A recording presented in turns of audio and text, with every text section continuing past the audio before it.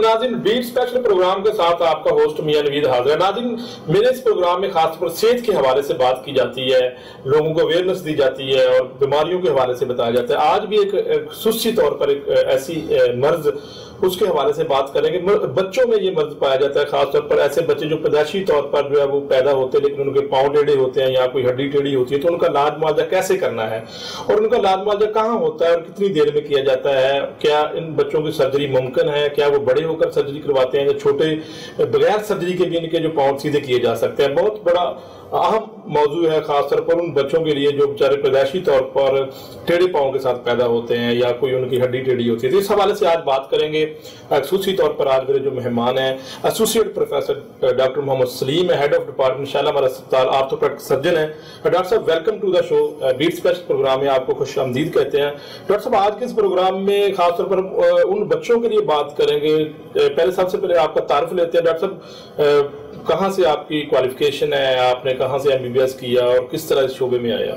मैंने जी 86 में निश्तर मेडिकल कॉलेज से एमबीबीएस किया था। उसके बाद मैं इंग्लैंड चला गया हायर पोस्ट ग्रेजुएट ट्रेनिंग के लिए।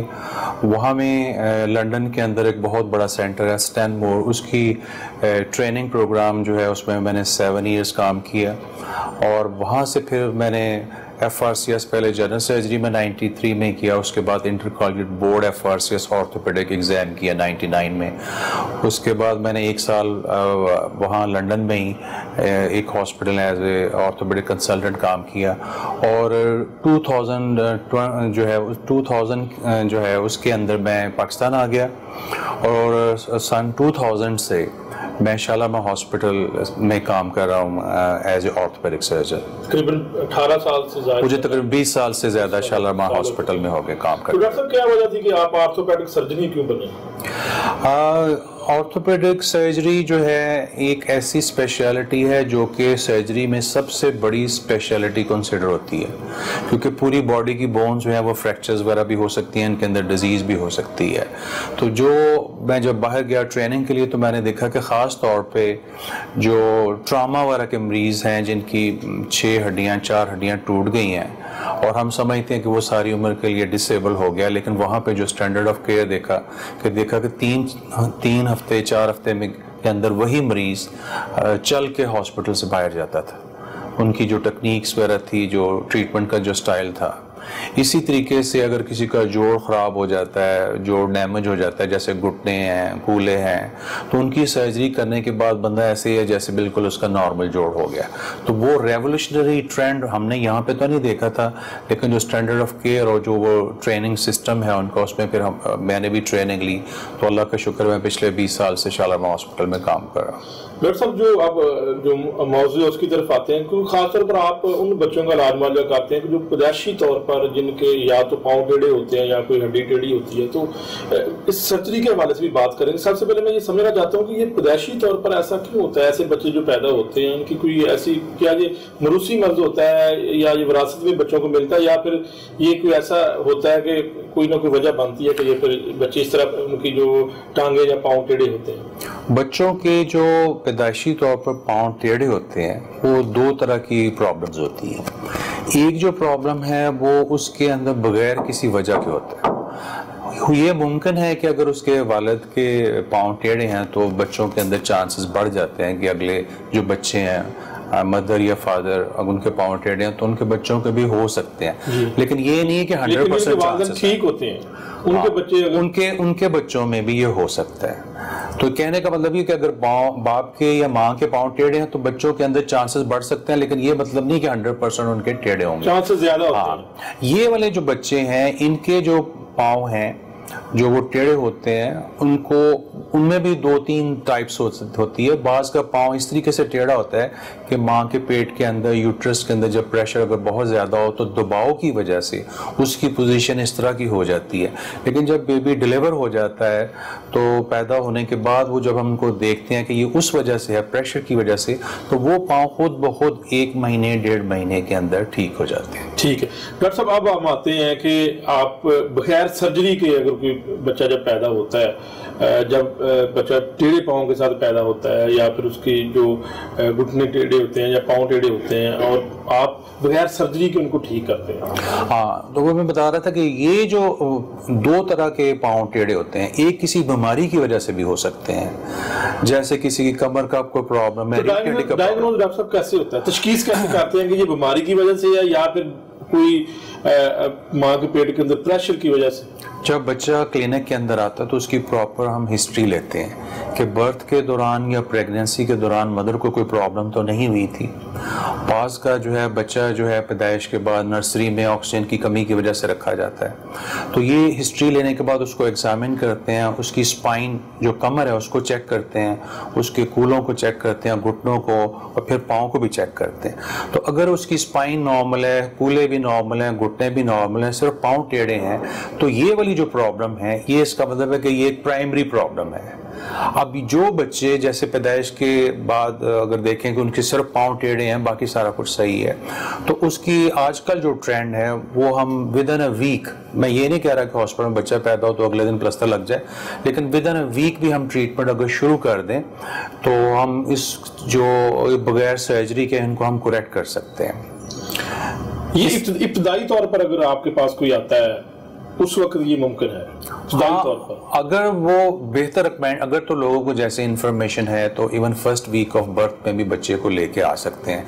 लेकिन अगर दो महीने के ऊपर आता है या तीन महीने के ऊपर आता है तो उसमें भी बगैर सर्जरी के हम इसको ठीक कर सकते हैं। उसमें हम इस तरीके से करते हैं कि बच्चा जो है उसका पाँव जो पैदाइशी तौर पर टेढ़ा है उसका पाँव को पकड़ के थोड़ा सा स्ट्रेच करते हैं कि वो अपने नॉर्मल शेप की तरफ़ आए।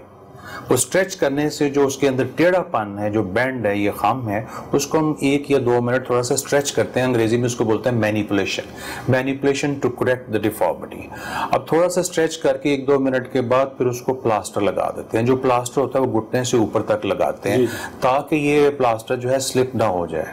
उस प्लास्टर को वन वीक के लिए रखते हैं। जैसे हमारा शालामार के अंदर जो क्लिनिक है उसमें बच्चे हमारे पास सैटरडे वाले दिन आते हैं उसको हम ये फ़र्स्ट प्लास्टर लगाते हैं। अगले सैटरडे सुबह के टाइम पेरेंट्स घर पे वो प्लास्टर उतार के आते हैं। उतार के आते उसके बाद अगले हफ़्ते फिर दोबारा इसी तरीके से हम ग्रेजुअल फिर स्ट्रेचिंग करते हैं फिर प्लास्टर लगाते हैं। तो यूजली आफ्टर फोर और फाइव प्लास्टर पाँव बच्चे के जो टेढ़े हैं वो काफ़ी सीधा हो जाता है। अगर पाँव बहुत शदीद ख़राब है, बहुत ज़्यादा टेढ़ा था तो उसका जो पीछे वाला हिस्सा होता है, पट्टा टेंडन जो एक जो है ना, वो एक टाइट होता है। वो जो टेंडन टाइट होता है, उसको हम सुन करके लोकल अनस्थीजिया दे के आउटडोर के अंदर ही एक छोटा सा कट लगा देते हैं। तो उससे जो बाकी डिफॉर्मिटी रह जाती है, उसको भी हम करेक्ट कर लेते हैं। उसके बाद उसको दो प्लास्टर और लगाते हैं। अब ये पाँव ठीक हो गए हैं।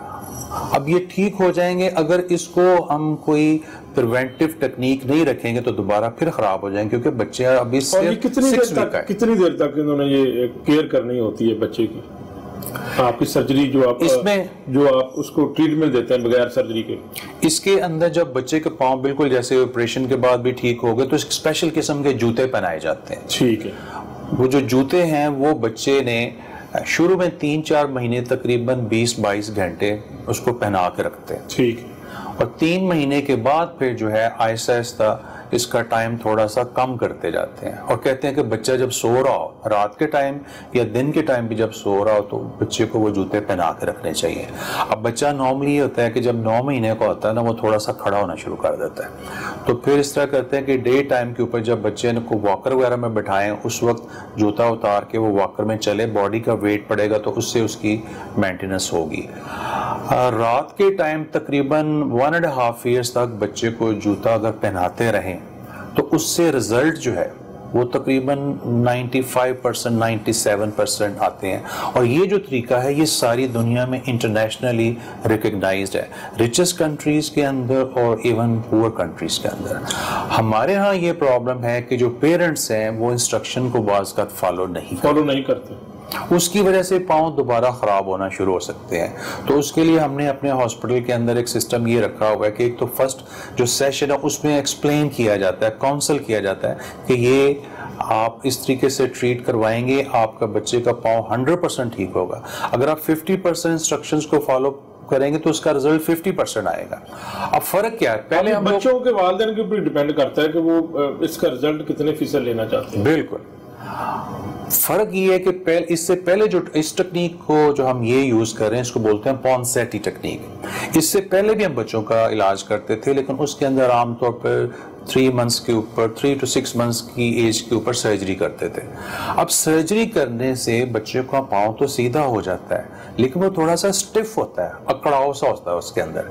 लेकिन इस टेक्निक के साथ जो हम प्लास्टर लगा के बच्चों का पाँव ठीक करते हैं तो ये ऐसे ही लगता है जैसे उसके पाँव बच्चे के बिल्कुल नॉर्मल और सर्जरी भी नहीं होती। और सर्जरी भी नहीं होती। बगैर सर्जरी हाँ, बिल्कुल और बिल्कुल नॉर्मल पाँव लगते हैं। बाज हमें भी खुद हैरानगी होती है कि इतने जब शुरू में आया था बच्चा तो इतने पाँव खराब थे और अब ये बिल्कुल ठीक हो डॉक्टर यानी वो बच्चा अपनी फ्यूचर की ज़िंदगी बड़ी नॉर्मल लाइफ गुजारता है। आम इंसान की तरह जो सेहतमंद होता है वो बच्चे भाग सकते हैं फुटबॉल खेल सकते हैं। हाँ बिल्कुल उनका पाँव का function nearly hundred percent normal होता है। वो सारा कुछ नॉर्मल वो कर सकते हैं। रनिंग भी जॉगिंग भी गेम वगैरह भी खेल सकते हैं। तो डॉक्टर साहब ये जो कितना महँगा इलाज है एक ज़ाहिर हमारे गुर्बत है और हमारी सोसाइटी में क्या लोग फोर्ड कर सकते हैं बगैर सर्जरी के? ये जो इलाज है, ये जो चीपेस्ट तरीका है क्योंकि सर्जरी जब करते हैं तो आपको पता है सर्जरी के चार्जेस ज़्यादा आते हैं। ज़्यादा आते हैं। तो इसके अंदर जो है ट्रीटिंग डॉक्टर अगर उस वो प्रॉपरली ट्रेन है तो उसने सिर्फ़ उसकी मैनिपुलेशन करनी है पाँव को थोड़ा सा स्ट्रेच करना है लेकिन वो वही डॉक्टर कर सकते हैं जिसने इसकी ट्रेनिंग ली है और हमारा एक सिस्टम है जिसमें हम डॉक्टर्स को ट्रेन भी कर रहे हैं अपने सारे जूनियर डॉक्टर्स को पेरी फ्री में भी ट्रेन कर रहे हैं। तो इसके अंदर तो सिर्फ़ क्योंकि उसको पाँच दफ़ा या छह दफ़ा प्लास्टर लगेगा तो प्लास्टर जो है वो उसकी जो कॉस्ट है तकरीबन तीन सौ चार सौ रुपया एक दफ़ा की आती है। और मुख्तलिफ़ गवर्नमेंट के हॉस्पिटल जो हैं उनके अंदर मोस्टली आपको पता है ये फ्री किया जाता है। हमारे शालामा हॉस्पिटल में भी जो पेरेंट्स नॉन अफोर्डिंग होते हैं उनके जो प्लास्टिन चार्जेस है वो भी हम फ्री कर देते हैं। और जिनको पे भी करना पड़ता है वो बड़ा मिनिमल सा होता है। जो छोटा सा ऑपरेशन होता है उसकी भी कोई क्योंकि लोकल लगा के कर, सर्जरी की जाती है तो उसकी कोई कॉस्ट को बहुत ज़्यादा नहीं तो डॉक्टर साहब इस इस इस मामले पे आप लोगों को क्या राय देंगे कि आपके पास जैसे कोई बच्चा पैदा होता है पैदाइशी तौर पर टेढ़े पाँव वाला या उन, उस उस बच्चे के टेढ़े घुटने हैं तो वो आपके पास फौरी तौर पर पैदाइश के बाद आपके पास डॉक्टर्स के, के साथ रजू करे? बिल्कुल विद इन अ वीक जो है पेरेंट्स को चाहिए कि जो है ना जो भी उनके पास फैसिलिटी ऑर्थोपेडिक सेंटर की जो भी हॉस्पिटल है मोस्टली डॉक्टर जो है इससे ट्रीट कर रहे हैं। हमारा जो क्लिनिक है, वो अल्लाह का शुक्र है कि हम लोग पिछले पाँच साल से तकरीबन एवरी ईयर हंड्रेड बच्चे जो है, उनको हम तकरीबन ट्रीट करते हैं।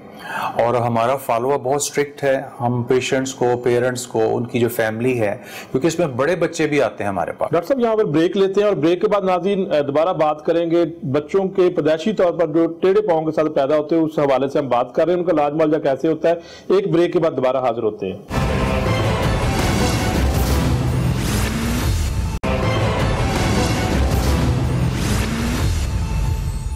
Welcome back to the show नाजिन, हमारे साथ रहिएगा। बहुत अहम मौजू है खास तौर पर वो फैमिलीज़ जो इस वक्त ये प्रोग्राम देख रही हैं, उनके बच्चों के जो पैदाइशी तौर पर टेढ़े पाँव के साथ जो पैदा हुए हैं, उनका इलाज मुआवजा कैसे किया जाता है, बगैर सर्जरी के इलाज मुआवजा उनका है? इस हवाले से अवेयरनेस की अशद ज़रूरत है। बहुत सारे लोग जो है वो अपने बच्चों को घर में लेकर बैठ जाते हैं, लेकिन बदकिस्मती से जब वो टन्योर गुजर जाता है टाइम गुजर जाता है तो फिर उनकी सर्जरी करनी पड़ती है। लेकिन एक अच्छी बात यह है कि यहाँ पर बगैर सर्जरी के जब आप इब्तदाई तौर पर डॉक्टर मॉलजी के पास चले जाएँगे तो वो आपको लाज मुआवजा उस बच्चे का मिल सकता है।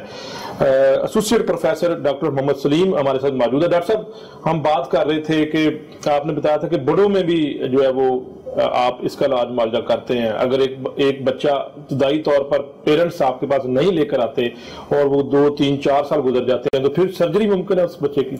उसके अंदर भी अगर बच्चा सपोज़ छः महीने का है, नौ महीने का, उसकी कोई ट्रीटमेंट नहीं हुई और उसको कोई और प्रॉब्लम नहीं है स्पाइन की प्रॉब्लम नहीं है। सिर्फ़ आइसोलेटेड सिर्फ़ पाँव का ही मसला है ये पैदाइशी तौर पर, जो बगैर किसी वजह के हो जाता है। तो उसके अंदर भी हम यही टेक्निक है जिसके अंदर हम मैनिपुलेशन करें और स्ट्रेचिंग करें, पाँव की जो डिफॉर्मिटी उसको करेक्ट करें और एवरी वीक जो है फिर उसका प्लास्टर इसी तरीके से चेंज किया जाए।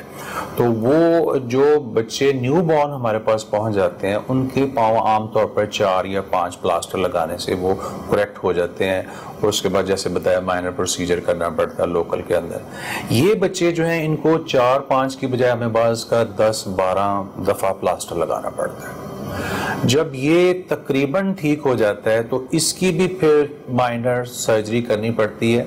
जो बच्चा थोड़ा सा बड़ा हो जाए, जैसे साल, सवा साल का है तो उसमें फिर लोकल एनेस्थीसिया के अंदर जो माइनर प्रोसीजर है। अब हम इसके अंदर भी अगर हम प्लास्टर से पाँव को ठीक कर रहे हैं तो अगर जो अगर माइनर सर्जरी करनी भी पड़ती है तो इसमें बहुत बड़ा चीरा नहीं लगता। एक आध पट्टा जो है उसको टेंडन को हम कट करते हैं। तो बास का तो लो, लोकल में भी कर देते हैं जो अगर छोटा बच्चा है साल से नीचे है अगर साल से बड़ा है तो उसको फिर हम जीए दे के तो वो उसका जो जो टाइट पट्टा होता है उसको रिलीज़ करके उसके बाद उसको रात के टाइम कुछ अर्सा के लिए जो स्पेशल वो जो शूज़ है वो पहनाते हैं। कुछ बच्चे ऐसे होते हैं जो जो भी वजह बन जाए, बच्चा बीमार हो गया, बुखार हो गया, नमोनिया हो गया, कोई और उसको प्रॉब्लम हो गई, शुरू में उसने इलाज करवाना शुरू किया, लेकिन दरमियान में छोड़ दिया। या जो बच्चे जो हैं टॉलरेट नहीं कर रहे प्लस्तर या किसी हॉस्पिटल में कोई प्रॉब्लम हो गई तो जिसकी वजह से इलाज ना करवा सके। और दरमियान में इलाज छोड़ दिया। वो बच्चे भी हमारे पास काफ़ी आते हैं। तो उनको भी हम शुरू में इस तरह प्लास्टर लगाते हैं। अगर जो बड़े बच्चे होते हैं, जैसे साल, डेढ़ साल के बाद उसके पाँव फिर टेढ़ा, टेढ़े होने शुरू हो गए तो उसके अंदर भी चार या पाँच प्लास्टर के बाद जो पाँव की शेप थोड़ी सी बेहतर हो जाती है। लेकिन बाज़ का पाँव अंदर की तरफ़ मुड़ रहा है। पाँव ठीक हो गया, लेकिन चलते हुए पाँव अंदर की तरफ़ मुड़ रहा है। तो उसके लिए हम एक ऑपरेशन छोटा सा करते हैं, जिसमें वो टेंडन जो पट्टे जो पाँव को टेढ़ा कर रहा है, उसको हम अंदर की बजाय बाहर शिफ्ट कर देते हैं। तो वो जो पाँव अंदर मुड़ रहा है तो वो टेंडन ट्रांसफ़र करने से दूसरी साइड पे लगाने से वो पाँव पे अंदर मुड़ने की बजाय सीधा पाँव हो जाता है। तो एक ये भी जो है प्रोसीजर जो है हम एडिशन टू जो नॉर्मल जो ट्रीटमेंट है जिसमें हम सर्जरी नहीं करते लेकिन माइनर सर्जरी ये भी माइनर सर्जरी इससे भी जो है उसकी शेप बेहतर हो जाती है। और मेजर सर्जरी भी डॉक्टर साहब कोई होती है? इसके अंदर जो है जो बच्चे लेट आए जैसे छह साल का है सात साल का है और गाँव में रहता है। अवेयरनेस नहीं अवेयरनेस नहीं है और कभी इलाज भी नहीं करवाया। अब जो गाँव में रहता है, वो हर हफ़्ते तो आ नहीं सकता। सपोज़ कुछ पेशेंट हमारे पास दूर से आते हैं साई वाला काड़ा उस साइड के बैक उधर गाँव है कोई, किसी ने सुना कि जी उधर से इलाज करवाया तो वो बच्चे जो सात आठ साल के हैं या दस साल के हैं तो उसके अंदर फिर हम सर्जरी करते हैं। सर्जरी करने का मकसद ये होता है कि वो एक ही दफ़ा आए, एक ही दफ़ा उनके पाँव सीधे कर दिए जाए। बाज़ का ये पाँव इतने ख़राब होते हैं कि वो जो बच्चा चलता है, वो पाँव का, मैं आपको पिक्चर्स में शेयर करवाऊँगा कि बच्चा जो पाँव का बाहर वाला हिस्सा है आउटर बॉर्डर उसके ऊपर चल रहा है। और पाँव सीधा फ्लैट भी नहीं है उसका। अब उसको तो हम इस तकनीक के साथ, जो हम पॉन्सेटी टेक्निक कहते हैं, इन जब इन्होंने शुरू में नहीं इलाज करवाया तो अब कैसे करवा सकेंगे? तो उसके लिए हम सर्जरी करते हैं। उसके अंदर बाज का वन स्टेज सर्जरी करते हैं कि एक दफ़ा उसकी हाफ़ करेक्शन की। लेकिन आजकल हम जो है ना वन स्टेज के अंदर, बल्कि दो पाँव ख़राब हैं तो दोनों को वन स्टेज के अंदर ही जो है ना, उसकी सर्जरी कर देते हैं, ताकि उसको बार बार ना आना पड़े। उसके अंदर बेसिकली हड्डी को थोड़ा सा काट के इस तरीके से एडजस्ट करते हैं सेट करते हैं कि पाँव की शेप जैसे नॉर्मल हो जाए, उसका पाँव ज़मीन पे लगे, वो जूता पहन सके और जूता पहन के वो चल सके। तो उसकी सर्जरी करने के बाद वायर से उस पोजीशन को मेंटेन करके रखते हैं, उसमें प्लास्टर लगाया होता है। कुछ एक हफ़्ते प्लास्टर रखने के बाद वो प्लास्टर उतार देते हैं, फिर एक स्पेशल किस्म का उसके लिए जूता बनवाते हैं और तकरीबन थ्री मंथ्स के बाद वो नॉर्मल जूता पहन के वो चल सकता है। दोनों तरीके इलाज में जूता पहनना जो आपने बताया कि छोटे बच्चे होते हैं तो जब वो बड़ा थोड़ा सा हो जाता है तो सोते वक्त उनको पहना जाए और जब जो मेजर सर्जरी आप करते हैं तो उस वक्त भी ये स्पेशल जूता बनवाया जाता है। दोनों तरीका इलाज में आपने बताया जी जी। अब देखें ना, फ़र्क ये है कि जो बच्चा शुरू में ही आ जाएगा, उसका पाँव ऐसे लगेगा जैसे हंड्रेड परसेंट नॉर्मल हो गया है और वो स्टिफ नहीं होगा, फ्लेक्सिबल होगा। बच्चा जब भागता है, हमारा जो पाँव है, उसके अंदर तकरीबन 30-35 जॉइंट है। जब बच्चा भागता है, दौड़ता है तो वो उसके अंदर फ्लेक्सिबिलिटी होती है। लेकिन जब हम सर्जरी करेंगे 12 या 14 साल के अंदर उसकी हड्डियाँ काट के सेट करेंगे, उसकी टांगों के मसल भी कमज़ोर हो जाते हैं।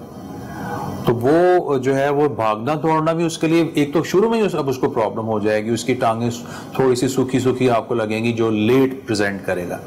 और फिर जो है, पाँव सीधा तो हो जाएगा, लेकिन वो फ़ंक्शन नहीं होगा, लेकिन कम अज़ कम ये है कि उसका चलना फिरना ईजी हो जाएगा, वो जूता पहन सकेगा नॉर्मल कहने का मतलब ये है कि अगर आप बच अवेयरनेस जो आपके प्रोग्राम के थ्रू जो मैं मैसेज देना चाहता हूँ ये है कि अगर किसी बच्चे के पाँव टेढ़े हैं तो एज अर्ली एज पॉसिबल फौरी तौर पर रब्ता करें और डॉक्टर की डॉक्टर बिल्कुल। जो इस तरीका इलाज को जानते हैं और जिन्होंने ट्रेनिंग की है। बिल्कुल बिल्कुल। तो डॉक्टर साहब आप यहाँ पर इस तरीका इलाज को इस अस्पताल में करवा रहे हैं तो डॉक्टर जूनियर जो डॉक्टर हैं उनकी ट्रेनिंग का बंदोबस्त भी किया हुआ है आपने? हाँ हमारे जो है इसमें जो डॉक्टर्स इन्वॉल्व हैं उनके लिए हम स्पेशल वर्कशॉप्स वगैरह कर, करते हैं। अपने हॉस्पिटल में भी करते हैं और बाकी हमारे जो कोलीग्स हैं लाहौर के अंदर उनके साथ मिल के चिल्ड्रन हॉस्पिटल के जो डॉक्टर्स हैं हमें हॉस्पिटल के डॉक्टर्स हैं उनसे उनके साथ मिलके हम लोग ये वर्कशॉप की सूरत में करवाते हैं। जिसमें अंदर कुछ लेक्चर्स होते हैं और साथ जो है बच्चों के ऊपर इसको कैसे प्लास्टर लगाना है किस तरह ऑपरेट करना है सर्जरी कैसे करनी है उसकी प्रॉपर एक ट्रेनिंग जो है वो भी देते हैं। ये तकरीबन वन डे का कोर्स होता है और ये फ्रीक्वेंटली हम लोग करवाते रहते हैं। तो आप प्रोड्यूस कर रहे हैं डॉक्टर साहब? डॉक्टर नए डॉक्टर? हाँ हमारे जो क्योंकि ये क्योंकि जो ऑर्थोपेडिक सर्जन होता है उसने सिर्फ़ एक चीज़ को नहीं ट्रीट करना उसने सारी चीज़ों को बाकी और प्रॉब्लम को भी देखना होता है। तो इस लिहाज से भी जो हम ट्रेन करते हैं हमारा जो शालाम हॉस्पिटल है आ, इसके अंदर हम बाकी और सर्जरीज भी करते हैं। आप आपको पता है कि हमारे यहाँ एक्सीडेंट कितने कॉमन है। किसी की एक हड्डी टूट गई किसी की दो रोड ट्रैफ़िक एक्सीडेंट में बाज का ये तो डॉक्टर साहब ये तो बहुत ज़्यादा तादाद में आपके पास आती होंगे क्योंकि मोटरसाइकिल के ऊपर जो हादसा होते हैं तो उसमें तो टांगे टूट जाती हैं हड्डियाँ टूट जाती हैं। बिल्कुल। तो इसके लिए जो है हम डॉक्टरों को जो ट्रेन करते हैं मैं इस हवाले से एक स्पेशल चीज़ ज़िक्र करना चाहूँगा कि आप लोग सुन के हैरान होंगे कि पिछले हम 10-12 साल से शालामा हॉस्पिटल में एक इंटरनेशनल कोर्स करवाते हैं फोर डेज़ का। इसके अंदर से पूरे पाकिस्तान से जो सीनियर डॉक्टर्स हैं, वो कंट्रीब्यूट करते हैं और दस बारह डॉक्टर बाहर से भी यूरोप से, मिडल ईस्ट से वो आते हैं। और वो साल में एक दफ़ा हम कोर्स करवाते हैं। और वो जो कोर्स का पैटर्न है जो स्टैंडर्ड है वो वही कोर्स का पैटर्न है जो अमेरिका में भी हो रहा होता है स्विट्जरलैंड में हो रहा होता है दुबई में भी होता है। बल्कि हमारे कुछ डॉक्टर जो हैं वो यूरोप में भी और मिडिल ईस्ट में भी जाके डॉक्टरों को ट्रेन करवाते हैं। वो जो फोर डेज़ का कोर्स होता है उसके अंदर जो मॉडर्न टेक्निक्स हैं। जैसे मैंने बताया कि हमने तो जाके इंग्लैंड में जी बिल्कुल वो सीखा सीखा था कि ट्रेनिंग ट्रेनिंग ली है। अब जो है जैसे इंडस्ट्री रेवोल्यूशनाइज हो रही है तो ये जो पेज प्लेट स्क्रूज डिफरेंट किस्म के बोन्स को फिक्स करने के लिए यूज़ कर होते हैं। ये भी बहुत रैपिडली चेंज हो रहे हैं। सर्जरी कैसे करनी है, किस टाइम पे करनी चाहिए लेटेस्ट टेक्निक क्या है जिससे पेशेंट जल्दी से जल्दी बेहतर हो जाए। तो वो हम फोर डेज़ का कोर्स करवाते हैं, उसको बोलते हैं एओ कोर्सेज एक साल हम बेसिक कोर्स करवाते हैं उससे अगले साल फिर हम एडवांस कोर्स तो उसमें आर्थो का जो डॉक्टर है वो किस तरह उसमें शमूलियत अख्तियार करता है? आप क्या उसके एडवर्टीजमेंट करते हैं या आप जो ये हमारा जो देते हैं हाँ, डॉक्टर ये आपने तो बड़ा अच्छा सवाल किया है कि जो है किन डॉक्टरों को आप सिलेक्ट करते हैं। इसके अंदर जो बेसिक कोर्स होता है जब ये हमारा नवंबर के अंदर होता है तो हम जुलाई के अंदर यूजली उसकी डेट अनाउंस कर देते हैं। ये हमारी ऑनलाइन एडवर्टाइजमेंट होती है फेसबुक के ऊपर यूट्यूब के ऊपर ये हम एडवर्टाइज कर देते हैं। अब इसकी जो रजिस्ट्रेशन है, क्योंकि ये एक बहुत स्टैंडर्डाइज किस्म का कोर्स है, उसकी लिमिटेड सीट्स होती हैं अराउंड सेवेंटी के करीब। तो वो ऑनलाइन रजिस्ट्रेशन होती है डॉक्टरों की। वो अपना डाटा एंटर करते हैं और ये है उनकी रजिस्ट्रेशन जो होती है, वो पोर्टल डायरेक्टली स्विट्जरलैंड में उनका डाटा कलेक्ट होता है। क्योंकि ये सारा इक्विपमेंट वगैरह जो सर्जरी सिखाने के लिए यूज़ होता है, इसके अंदर प्लास्टिक की हड्डियाँ और ड्रिलें वगैरह, ये सारा सामान वगैरह इंग्लैंड से आता है। तो इस तरीके से उसकी सिलेक्शन होती है सेवेंटी लोगों की।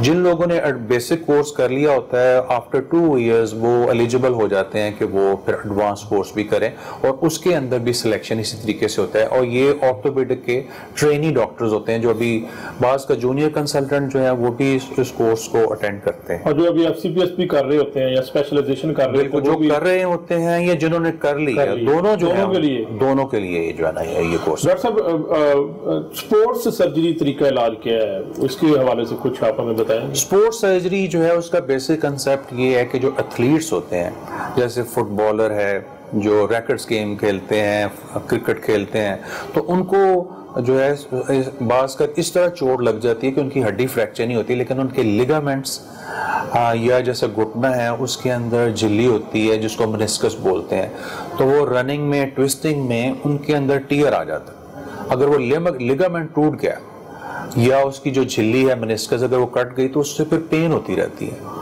तो जो लेटेस्ट तकनीक पुरानी तकनीक ये थी कि अगर झिल्ली टूट गई है तो जॉइंट को खोल के और उसमें से झिल्ली को निकाल दें। लेकिन स्पोर्ट्स सर्जरी में कहते हैं कि हम जॉइंट को ज़्यादा खोलें नहीं, सिर्फ़ की होल सर्जरी की जाए कैमरे के साथ। और जो माइनर पोर्शन जैसे अगर घुटने की झिल्ली डैमेज हो गई है तो उसको कैमरे के साथ ही एक ही स्टिच लगे सिर्फ़ उसको डैमेज पोर्शन को निकाल दें या उसको रिपेयर कर दें। इसी तरीके से अगर किसी एथलीट का घुटने का लिगामेंट जो है, वो अगर अंटीरियर क्रूशियल लिगामेंट उसको बोलते हैं तो उसको कैमरे के साथ ही आइधर हम उसकी रिकंस्ट्रक्शन कर दें। उसको लिगामेंट को हम स्टिच नहीं कर सकते, लेकिन उसकी रिकंस्ट्रक्शन करते हैं।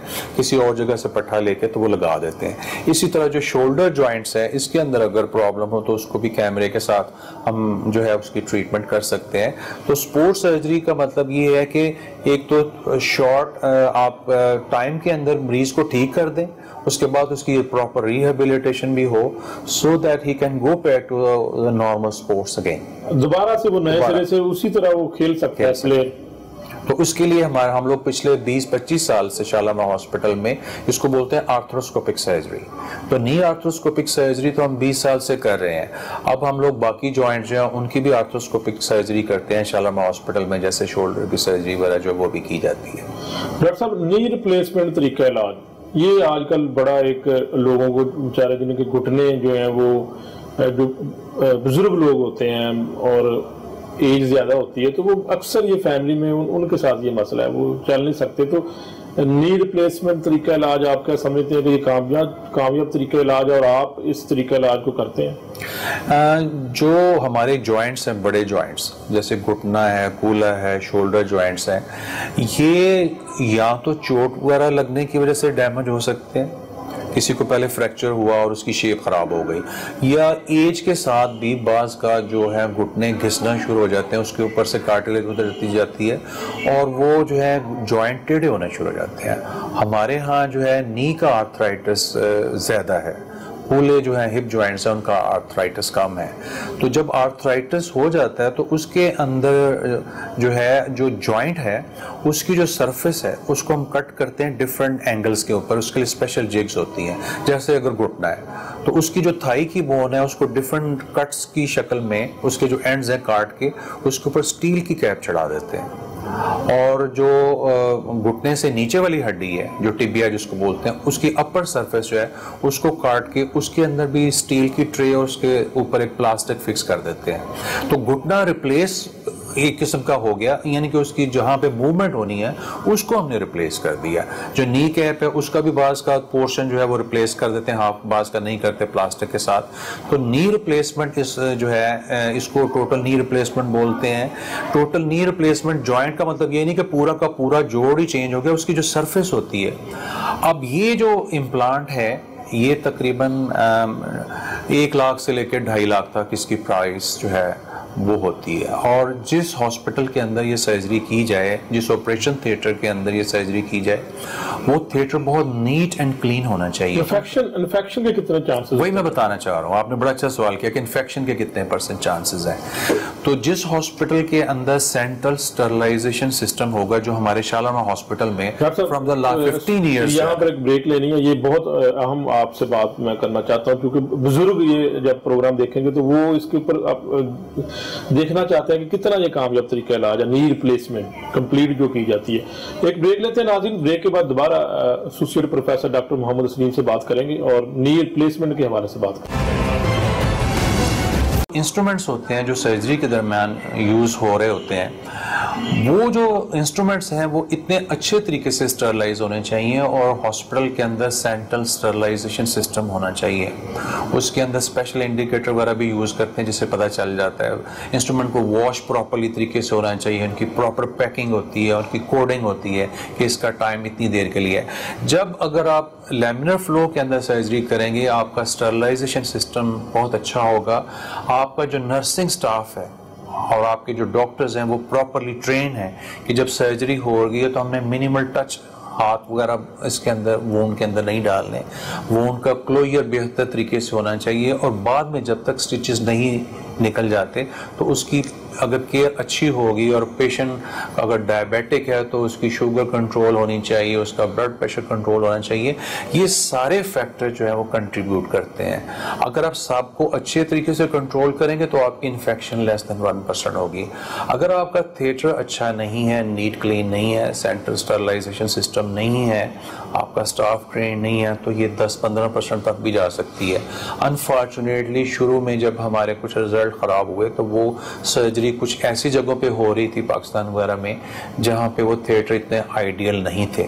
लेकिन अब हमारे यहाँ काफ़ी अवेयरनेस आ गई है हमारे मुल्क के अंदर काफ़ी हॉस्पिटल जो है उनके अंदर ये इस तरह के नीट क्लीन थिएटर और सेंट्रल स्टरलाइजेशन सिस्टम है। इसलिए जो आपका सवाल था कि कितने परसेंट इन्फेक्शन है तो अब हमारे यहाँ मेरा हाल है जो अच्छे यूनिट्स हैं उनके अंदर one less than one two two percent जो है। तो, और हमारे यहाँ भी ऐसा ही बिल्कुल। डॉक्टर साहब पेशेंट बाद में जब टोटल नी रिप्लेसमेंट हो जाती है तो फिर वो नॉर्मल लाइफ में कितना अच्छा चल फिर सकता है? जब उसकी टोटल नी रिप्लेसमेंट हो जाए या टोटल हिप रिप्लेसमेंट जैसे कूलर का हो जाए तो यूजली हम उसको दूसरे दिन उसको वॉकर के साथ चलाना शुरू कर देते हैं। क्योंकि वो ऑपरेशन का जो कट लगा होता है उसकी वजह से पेन वगैरह तो होती है हाँ। उसको थोड़ी सी सपोर्ट चाहिए होती है। ठीक है। और ग्रेजुअली टेन डेज़ और टू वीक्स के अंदर जो है वो मरीज़ वो जो सपोर्ट है वॉकर वगैरह वो भी छोड़ देता है। आप डिपेंड करते हैं जो यंग पेशेंट होते हैं वो जल्दी छोड़ देते हैं जो एल्डरली पेशेंट है वो थोड़ा सा जरा ज़्यादा टाइम लगता है। बास का सर्जरी भी इस तरह की होती है कि जैसे हमने दोबारा सर्जरी की है रीडू सर्जरी बोन बड़ी वीक है। और डॉक्टर्स जो है, उसको आइडिया होता है कि जो उसने सर्जरी की है, उसकी फिक्सेशन किस लाइफ स्टाइल की है, किस तरह की है। तो वो बास का स्पेशल इंस्ट्रक्शन देते हैं कि आपने इतनी देर तक ज़्यादा वज़न नहीं डालना। तो वो डॉक्टर की इंस्ट्रक्शंस के ऊपर जो कुछ केसेस हैं उनके अंदर। लेकिन ये है कि इसके जो रिज़ल्ट हैं, बहुत बेहतर है। शुरू में जो जैसे मैंने बताया कि इशू था, लेकिन ये है कि ये एक्सपेंसिव सर्जरी है।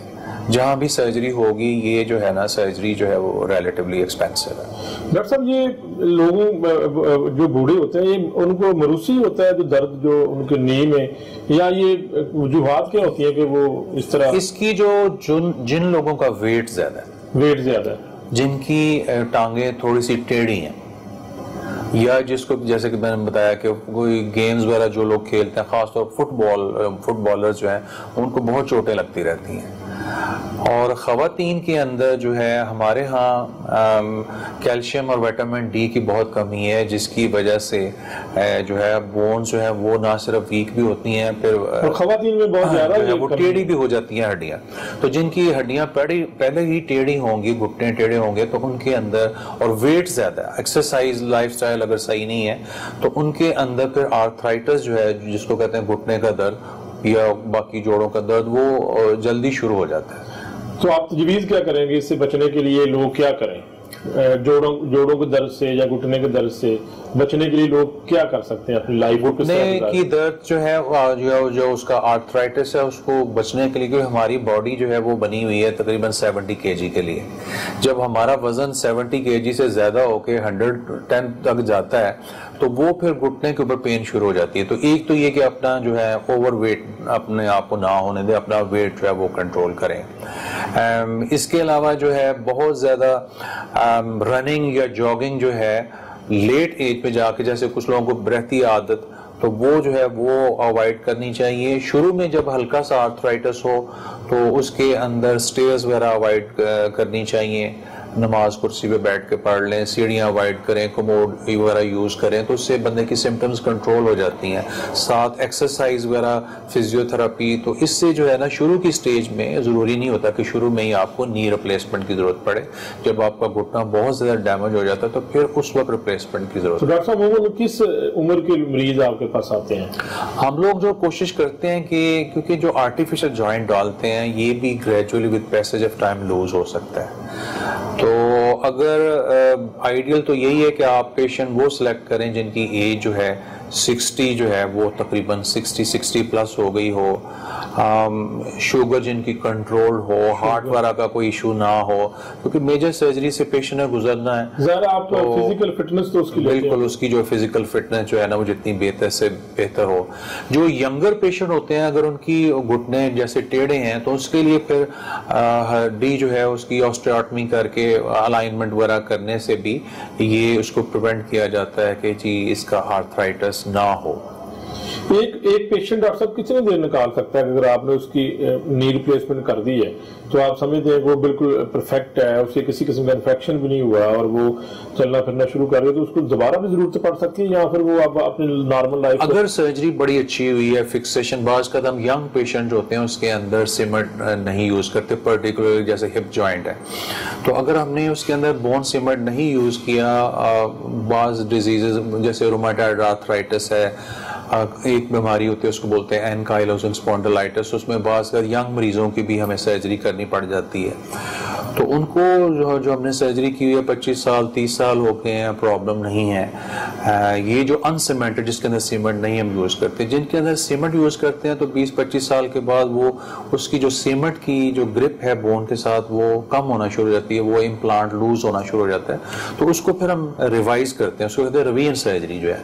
तो उसके अंदर डिपेंडिंग अपॉन अगर पेशेंट सेंसिबल है फॉलो अप करता रहता है तो अगर बहुत ज़्यादा डैमेज नहीं हुआ बोन का लॉस नहीं हुआ तो उसके बाद फिर दोबारा उसको रिप्लेस कर देते हैं और again it can work 15 20 years जो है। डॉक्टर साहब एक सवाल ये पूछना चाह रहा हूँ कि मोहरों का जो दर्द है ये भी एक कॉमन दर्द है और हर बंदा इसमें मुबतला होता जा रहा है। अच्छा मज़े की बात ये कि ये आपने बड़ा अच्छा सवाल किया कि ये जो है इतनी कॉमन प्रॉब्लम है हर बंदे के जिन में खौफ आ जाता है कमर दर्द और गर्दन का दर्द।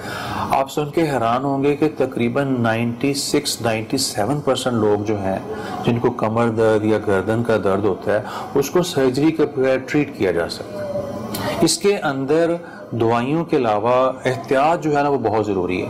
वो चीज़ें जिसकी वजह से कमर दर्द बढ़ सकती है, अगर एक दफ़ा हो गई है, झुकना नहीं चाहिए ज़्यादा। चार पाँच किलो से ज़्यादा वज़न नहीं उठाना चाहिए। अपना पोस्चर सही रखें, टेक लगा के बैठें। और जो यंग पेशेंट जो है ख़ास तौर पर उनको जो है चाहिए कि डॉक्टर से जो कमर के जो मसल्स हैं उनको स्ट्रॉन्ग करने के लिए एक्सरसाइज सीखें। या आइडियल ये है कि फिजियोथेरेपी करवाएँ और फिजियोथेरेपिस्ट से स्पाइन के जो मसल्स हैं उनको किस तरीके से स्ट्रॉन्ग करते हैं वो फिजियोथेरेपिस्ट से वो एक्सरसाइज लर्न कर लें और एक्सरसाइज अगर करते रहें तो वो अपनी नॉर्मल लाइफ में जा सकते हैं हंड्रेड परसेंट लाइक नॉर्मल और किसी किस्म की कोई सर्जरी की ज़रूरत नहीं फिर सर्जरी की ज़रूरत नहीं। अगर किसी मरीज़ को कमर दर्द हुआ है और उसके साथ टांग में शदीद दर्द होना शुरू हो गई है और टांग सुन हो रही है और पाँव के मसल कमज़ोर होना शुरू हो गए ये वो पेशेंट हैं जिनको सर्जरी की ज़रूरत होती है। और मैं ये रिकमेंड करूँगा, अगर किसी को शदीद कमर में दर्द है और साथ पाँव के मसल कमज़ोर हो गए या बाज का तो उसको यूरन आना बंद हो जाता है। जो डिस्क डैमेज कहते हैं हो गई उसकी वजह से। तो ये वो पेशेंट है जिनको डिले नहीं करना चाहिए। जितनी जल्दी सर्जरी होगी, उतना रिज़ल्ट इसका बेहतर होगा। क्योंकि वो जो डैमेज हुआ है, वो रिवर्स हो सकता है। डॉक्टर साहब, एक सवाल, जो आखिरी सवाल है, बहुत सारे लोग, हड्डी जोड़ ताइयों के पास चले जाते हैं और मोरों के इलाज के लिए ताई, ताइयों, ताई, डॉक्टर तो मैं नहीं कहूँगा, लफ्ज ताई इस्तेमाल करना चाहिए उनके पास चले जाते हैं, उनको क्या मैसेज देंगे आप? मेरा ये पैगाम है कि लोगों को, हमारे आम जो पब्लिक है, कि जब हमारी गाड़ी ख़राब हो जाती है, हमारी घर की कोई इलेक्ट्रॉनिक्स ख़राब हो जाती है, हम पूछते हैं कि यार कोई अच्छा मकैनिक किधर है? तो अल्लाह ताला ने इतनी खूबसूरत और इतनी कॉम्प्लेक्स बॉडी बनाई हुई है। हम जो सारा उम्र अपनी पढ़ पढ़ के जो है ना डॉक्टर कहते हैं कि सारी उम्र पढ़ाई करते रहते हैं। तो हमें भी बास का कुछ चीज़ें जो है ना, हम सोच रहे थे कि इसका बेहतर इलाज क्या है। तो आपसे यही रिक्वेस्ट है कि अगर आपकी बॉडी को कोई डैमेज होता है, कोई चोट लगती है तो आप किसी अच्छे डॉक्टर को चेक करवाएँ, ताकि वो जो प्रॉब्लम है, जो डिज़ीज़ है, उसको शुरू में ही पकड़ लिया जाए। अगर आप शुरू से इलाज करवाएँगे तो वो कॉम्प्लिकेशंस कम होंगी और रिज़ल्ट भी अच्छा आएगा। अगर किसी का फॉर एग्जांपल जोड़ निकल गया है, अगर वो फॉरन एमरजेंसी में चला जाता है हॉस्पिटल में चला जा चला जाता है तो वो जॉइंट अपनी जगह पे उसी वक्त फॉरन बाज का बेहोश किए बगैर भी अपनी जगह पे आ जाएगा और उसका फ़ंक्शन 100 परसेंट नॉर्मल हो जाएगा। अगर किसी का फॉर एग्जांपल टखना अगर चोट लगी है और जोड़ बाहर निकल गया है तो अगर वो बोन सेटर के पास चला जाता है और वो जोड़ बाहर ही रहता है। इस, इसी तरह अगर कूले का जोड़ बाहर ही निकल गया तो वो जोड़ हमेशा के लिए नकारा हो जाएगा, क्योंकि उसके अंदर उसकी जो ब्लड सप्लाई वगैरह वो डैमेज हो जाएगी, उसके ऊपर मूवमेंट खत्म हो जाएगी, और फिर बंदा सारी उम्र लंगड़ा के चलेगा। हाँ ये है कि बाज का जो हमें माइनर थोड़ी बहुत जो मोच आ जाती है मसल के अंदर थोड़ी सी ब्लीडिंग हो गई, उस तरह के पेशेंट जब जाते हैं बोन सेटर के पास वो कहते हैं, उसने चार पट्टियाँ की, मैं ठीक हो गया। वो उसकी चोट के ऊपर डिपेंड करता है। इसी तरह जो बच्चे हैं, वो गिरते हैं तो उनके माइनर फ्रैक्चर होता है, जिसको बोलते हैं ग्रीन स्टिक फ्रैक्चर कि हड्डी के अंदर हेयर लाइन क्रैक आया और जो है वो उसने खुद ही ठीक हो जाना है। उसको हम भी डॉक्टर भी ऑपरेशन नहीं करते। ये जो पहलवानों के पास लोग जाते हैं और वो कहते हैं, जी, हमारा ऑपरेशन वो उनका डॉक्टर भी ऑपरेशन नहीं करते। चाहे वो कमर दर्द हो, घुटने का दर्द हो और जो मोच वगैरह होती है, उसको बगैर सर्जरी ही ठीक हो जाती है और जो माइनर फ्रैक्चर होते हैं, वो प्लास्टर से हम ट्रीट करते हैं। डॉक्टर साहब, बहुत शुक्रिया। आपने बड़ी मुफीद बातें की नाजरीन के लिए और आपने मुख्तलिफ़ तरीका आर्थोपेडिक के हवाले से आपने बताया, खासतौर पर जो ऐसे बच्चे जो पैदाशी तौर पर जिनके पाँव टेढ़े होते हैं जो आप इलाज माजा कर रहे हैं, उस हवाले से बड़ी मुफीद बातें हुई। आपसे बहुत शुक्रिया। नाजिन, आज के इस प्रोग्राम में हमने खसूसी तौर पर associate professor doctor Mohammad Salim, जो आर्थोपैटिक सर्जन है, उन्होंने हमें बताया कि किस तरह आपने इब्तदाई तौर पर अगर कोई ऐसा बच्चा पैदा होता है कि जिसके पाँव टेढ़े हैं या कोई हड्डी टेढ़ी है तो फौरी तौर पर आपने पहले हफ़्ते में ही जो है वो मालिज के पास जाना है और अपना इलाज माजा करवाना है। खुदा न खास अगर आपने डिले कर दिया, बहुत ज़्यादा डिले कर दिया तो फिर एक माइनर सर्जरी, फिर मेजर सर्जरी भी करनी पड़ती है। तो इससे बचने के लिए अगर आप इब्तदाई तौर पर मालिज के पास आते हैं तो बच्चा बिल्कुल तंदरुस्त, ठीक हो सकता है और नॉर्मल लाइफ गुजार सकता है। उसके अलावा बेशुमार मुफीद बातें आपने सुनी। नाजरीन, आज के इस प्रोग्राम में मुझे इजाज़त दीजिएगा। अगले प्रोग्राम में नए मौजू के साथ में हाजिर हूँ तब तक के लिए अल्लाह हाफिज।